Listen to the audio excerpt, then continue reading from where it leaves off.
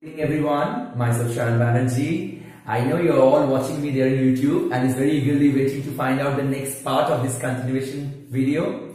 So here I am with our next class where I was actually going on with class 9 as you can see here I've written already as we are going on with class 9 we are up to the chapter Palampur and the first arbitrary chapter arbitrary village Palampur in which we are, will come across different economic activities and we are still there in the economic activities in our discussion.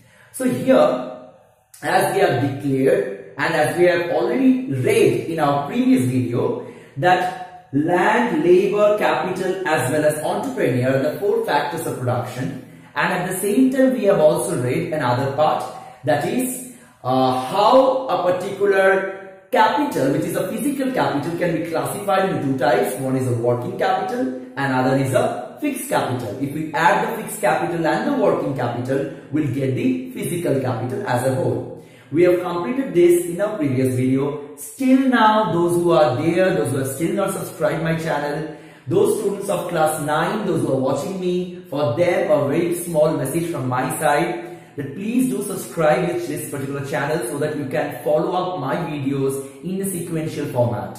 So we will be starting with a very topic of discussion that is land and we'll have an elaborate study of what land is, what are the characteristics of the land, that is what are the features that the land hold and after the same time we'll also go on with discussing how is land distributed in Palampur or how can you relate the first factor of production land with our arbitrary story Palampur.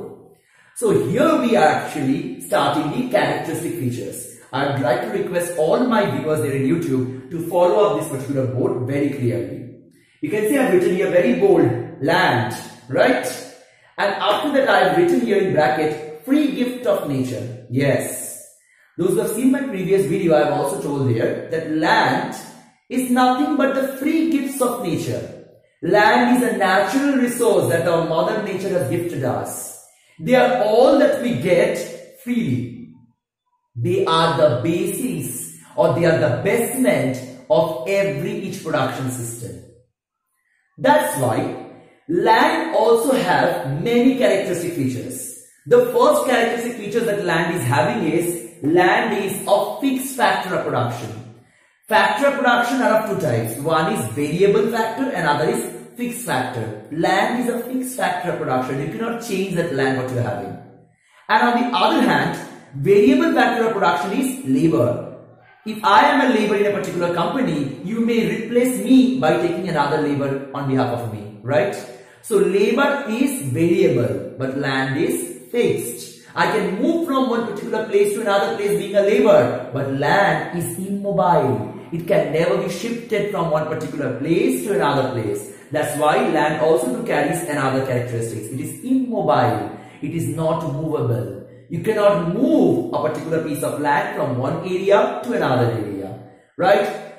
Land is fixed. That is a big constraint or a restriction. That means that as it is a natural resource, you cannot increase that artificially, right? So as it is a natural resource, you cannot increase that artificially. So natural resource is another feature of this particular land. Land is indestructible. What do you understand by indestructible? Land is indestructible means you cannot destroy a land. Yes, you can sell me sir with different type of harmful chemicals and fertilizers when they are used excessively in a particular piece of land, its quality degrade. But do it actually mean that particular land being a barren land actually gets destroyed? No, they physically don't get destroyed. They will get the same piece of land there itself its pH level may reduce, its pH level may be high. Its fertility rate might increase, its fertility level might go down. So land is immobile, land is indestructible, it is a natural resource, it is a free gift of nature and even it is, it is the main area where majority of people do farming activities. So basically here now after understanding all the characteristic features of land, we are coming up directly how is land available there in Palampur? What are the features of land there in the story Palampur? Or how can you relate the first factor of production land with Palampur story? Right? Now here, as in the entire country, after independence, we found majority of the population, this is more than 70% of the population, directly or indirectly engaged in primary activities that is farming as well as the agricultural activities. So farming has also become the major occupation of the people living there in Palampur approximately 70% or 75% people there in Palampur, those who are the working individuals, are engaged in farming as their major activities. Our second point of discussion is, as I have told that you cannot expand land. Land is a natural resource and is a fixed factor of production. So it is not always possible to increase the land. Suppose this is an entire country, India. Is it possible for me to increase this particular piece of land? Is it possible for me? No, right? The answer will be a big no. The no, sir, land can never be increased as that's a big constraint or restriction. It's a fixed factor of production. That's why I am here talking about cultivable land.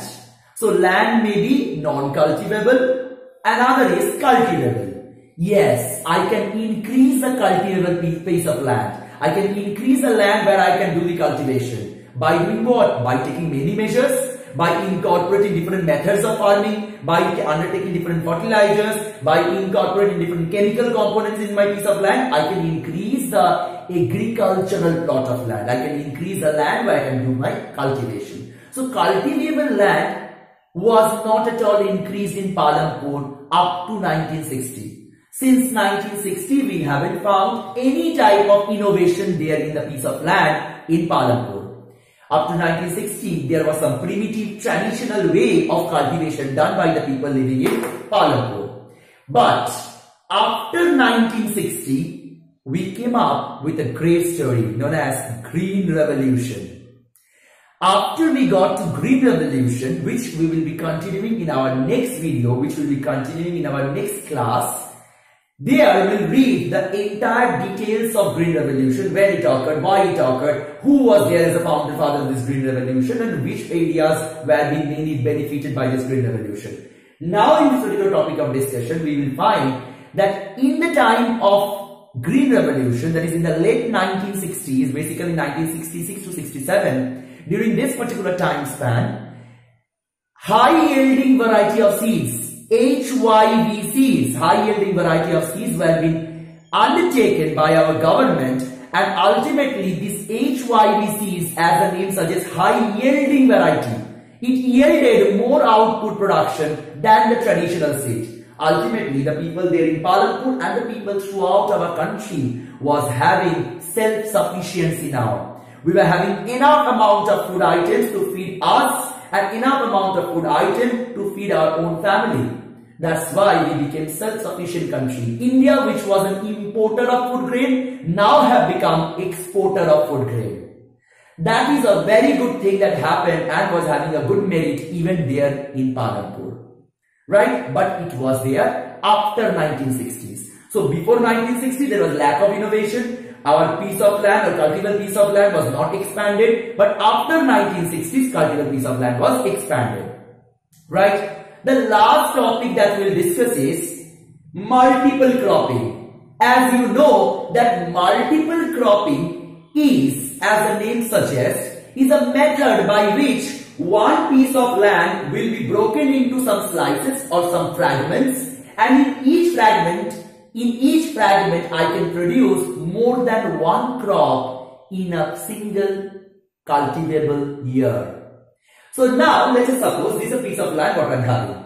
And this particular piece of land I'm breaking into four equal division. First part, second part, third part and fourth part. This four equal division of land what I'm doing, I'm here producing potatoes, here chilies, here tomatoes and here pumpkin. If I produce these four vegetables in a single piece of land in one cultivable season or in a given county year, whatever you say, we call this system as multiple cropping. So producing more than one crop or it might be two or even more than two crops in a single piece of land or single plot of land in a given seasonal period. We call this system as multiple cropping which have also helped the people they are living in Palampur. So here are the few characteristics of land. You will just remember land is a fixed factor of production. Land is indestructible. Land is immobile. Land is a natural resource that is a constraint. You cannot expand that.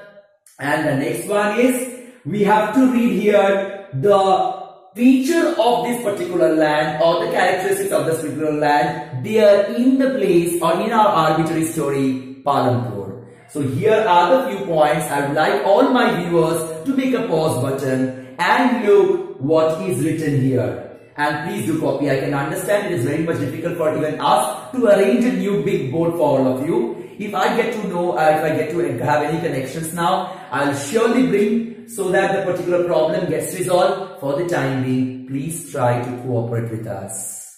Stay happy, stay connected. Hope to see you soon. If you like my video, don't forget to share it with your friends and give us a thumbs up. And don't forget to subscribe. Till then, bye-bye.